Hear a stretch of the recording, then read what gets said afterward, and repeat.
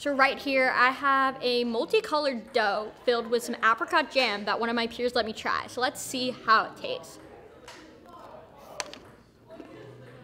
Much more crunchier than I thought, but it's good. Maryland Hillel brought in local celebrity chef Paula Shoyer to lead a Hamantaschen baking activity with about 40 students. I'm a little bit of a fangirl.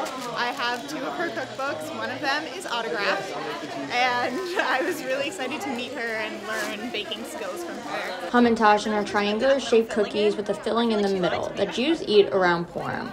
Purim is a joyful holiday which celebrates the Jewish people's survival in Persia, which is now present day Iran. Really fun for me to come to communities and bake with enthusiastic Jewish students and other Jewish adults. Students filled the colorful Hamantaschen dough with apricot and raspberry jam, chocolate chips, or blueberries. Within the next hour, students combined to make close to 200 Hamantaschen. It's just really fun to go through the experience again and like fold it and everything. That's not something that you usually make um, under normal occasions. It's just this unique food. It's just really fun. From Maryland Hillel, I'm Judith Altneu.